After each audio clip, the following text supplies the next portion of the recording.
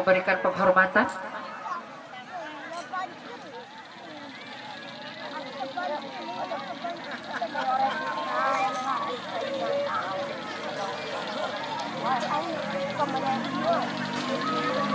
Iya.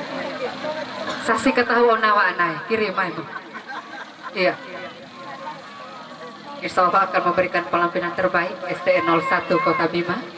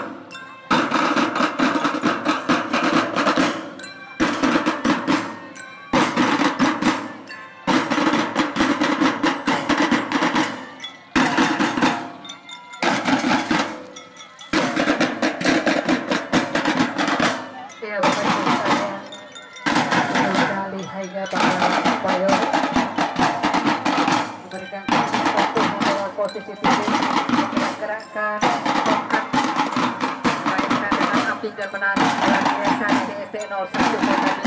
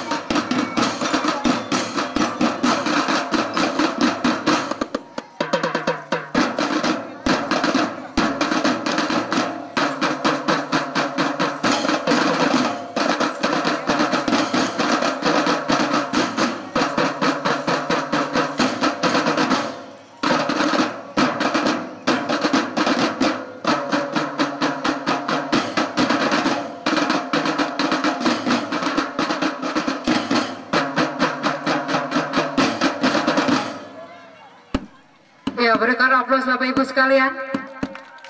Untuk penampilan SDN 01 Kota Bima memberikan penghormatan terakhir